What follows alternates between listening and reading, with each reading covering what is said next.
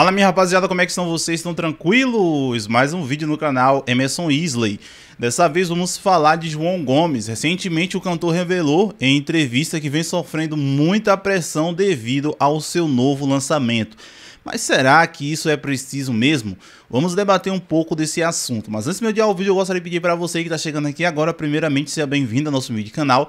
Não se esqueça de se inscrever aqui embaixo, ativar o sininho de notificações e, é claro, deixar o seu like para você ser lembrado toda vez que eu postar conteúdos novos aqui. Pois é, rapaziada, recentemente o nome de João Gomes foi um dos mais comentados na internet Logo após o cantor fazer um breve desabafo em suas redes sociais, onde, segundo o mesmo, muitas das vezes dava até vontade dele sumir, onde posteriormente esse caso rolou, rolou, e ele deu entrevista a Léo Dias, onde falou que vem sofrendo muita pressão e também, rapaziada, as pessoas começaram a vincular que isso poderia ser devido à correria dos shows e tal, porém uma coisa é, é certa, longe de mim de estar tá julgando alguém, Aí as pessoas, ah, mas os empresários cobram demais o artista, pô, mas tem tudo investimento. Acho que João Gomes está passando por uma fase de transição, isso é super normal.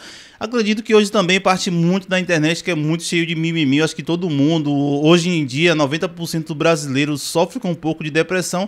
E isso acaba que, ao longo do tempo, nós vamos percebendo que fa fazem parte de nossa vida. Porém, João Gomes também acabou revelando que ele sente muita pressão devido ao seu novo lançamento, algo que também é super normal. Como vocês sabem, o cantor, até os dias atuais, ele só lançou um álbum oficial, que foi o CD da música Meu Pedaço de Pecado, tem uma senha, etc que foi um, um, CD que, sem sombra de dúvidas, ajudou demais a carreira de João Gomes e assim ele ficou conhecido nacionalmente, participando de diversos programas de televisão de rede nacional e praticamente fazendo show em todo o Brasil. E agora, com seu novo lançamento, como eu falei para vocês anteriormente, ele acabou revelando que sente meio que muita pressão. Como eu falei, isso é super normal porque a pressão vem da seguinte forma: ele tá pensando, porra, se eu lançar esse novo CD, o que vai ser? Será que as pessoas vão gostar desse novo CD? Será que eu vou continuar fazendo sucesso? O que vai ser da minha carreira a partir de agora? É algo que eu costumo falar constantemente, que vai mostrar o artista depois da segunda música que ele vai estourar.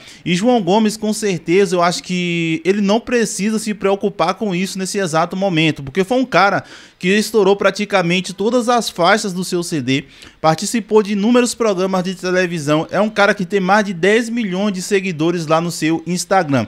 Então, assim, de certeza, mesmo que esse novo CD dele aí não faça sucesso como fez o primeiro, que é algo meio que.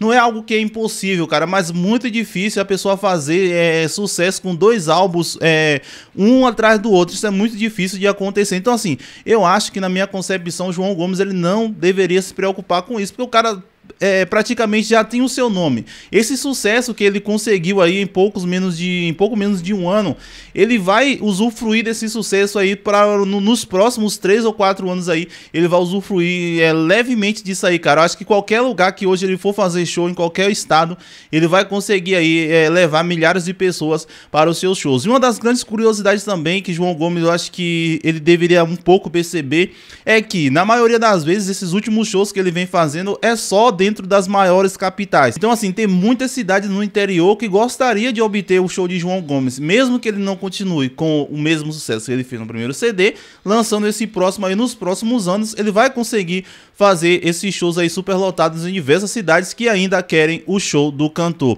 E outro fato também que eu acho que João Gomes não deveria se preocupar com essa questão do seu novo lançamento é que Gustavo Lima já passou um momento muito difícil na sua carreira em uma época.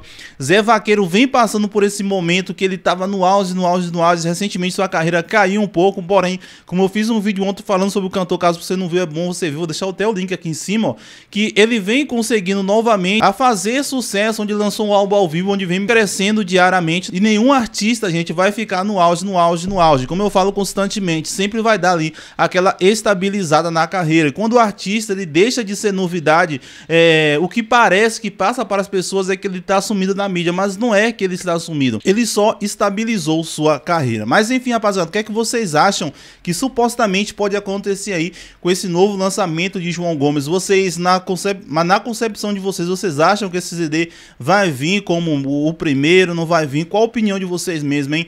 Deixe aqui embaixo nos comentários, pois seu comentário ele é super importante. Bom, gente, esse foi o vídeo de hoje falando um pouco sobre esse lançamento de João Gomes, que na minha concepção, ele não deve se preocupar com isso.